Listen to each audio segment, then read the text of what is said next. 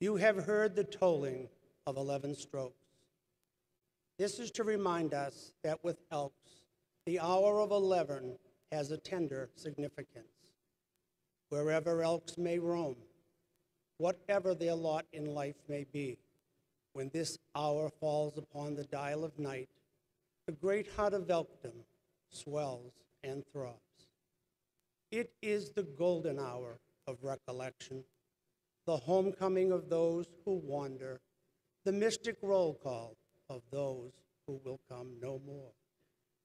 Living or dead, elks are never forgotten, never forsaken. Morning and noon may pass them by, the light of day sink heedlessly in the west. But ere the shadows of midnight shall fall, the chimes of memory will be pealing forth that friendly message to our absent members.